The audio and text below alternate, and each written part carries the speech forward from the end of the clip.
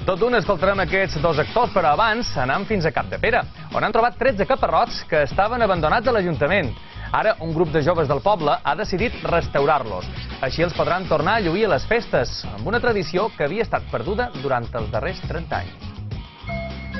Aquest és un dels 12 caparrots que varen trobar abandonats a les dependències de l'Ajuntament. Estaven tots en molt mal estat, però ara un grup de joves de Cap de Pere han decidit restaurar-los per sortir en colla a les properes festes patronals i recuperar així una tradició que s'havia perdut fa més de 30 anys. Anem a conèixer-los.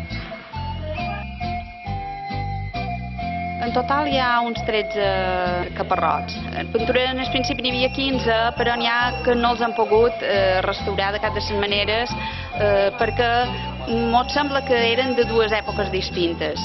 Uns eren molt de cartó, mm, que era paper per de dins i han estat plens d'humitat i molt foradats que no mos donaven marge de restaurar i uns altres que es pareixien més de fibra per ja pareixia que eren d'una època més, eh, més avançada. S'ha fet una neteja, perquè t'he dit n'hi havia que, que estaven molt, molt eh, bruts, eh, i després se'ls ha de donar una... O qualcun li ha hagut de posar massilla perquè està molt llevat, faltaven com a trossos de nas i això, i una capa de pintura.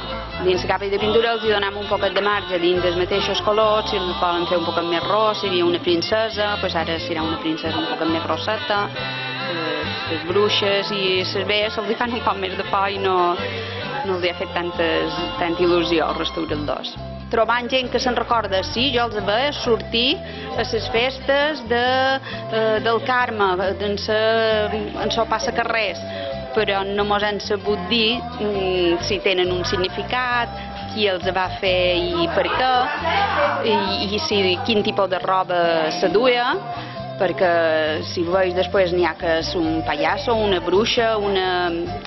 pareix com un poc una mescla, inclús com a, un de dimonis en dents. En aquest taller el que han proposat en els joves és tu tria el caparrot que t'agrada més, el restauraràs, se li farà la roba en conjunt eh, per després sortir, vull dir, normalment sigui del municipi, eh, serà com un poquet de, de cada jove, de cada un de que hagi restaurat, etc. Per poder tornar a introduir-los dins les festes, sortir en el passacarrers de, de les festes dels municipis i, i sobretot sobre mos agradaria en el mercat medieval sortir.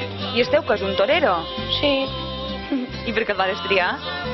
No, perquè en teoria ja havia d'agafar un altre, però me'n van dir d'elegir aquest i pues ja vaig agafar. I a veure, mem, en aquell li ha hagut de fer moltes de coses. Veiem aquí que té set celles, Sí. el nas... Sí, estava un poc també ben, ben apanyat, però ja, ja no m'ho recordo. Primer l'hem fet net amb, amb aigua i una esponja ben, ben exprimit i després hi hem començat a posar massilla per, per tots els crulls i totes les peladures que tenia. I te fa molta il·lusió sortir tu sense caparrot a la, a la fira medieval? Sí, No te fa vergonya? no. Pues, I de pintat el gorro, ja he vist també per setmana escorrida. Però què t'ha passat amb la pintura? Que t'ha regalimat per tot? Perquè li he posat molt i se m'ha escorrit. I estava molt malament aquest, quan vas començar a restaurar-lo o no? No. Però veig que té moltíssima massilla, com així n'hi has posada tanta? Perquè tenia molt poc, però necessitava un muntó. Encara els hi queden unes setmanes de feina per tenir els caparrots acabats. Haurem d'esperar a la Fira Medieval per poder veure'ls desfilar a tots.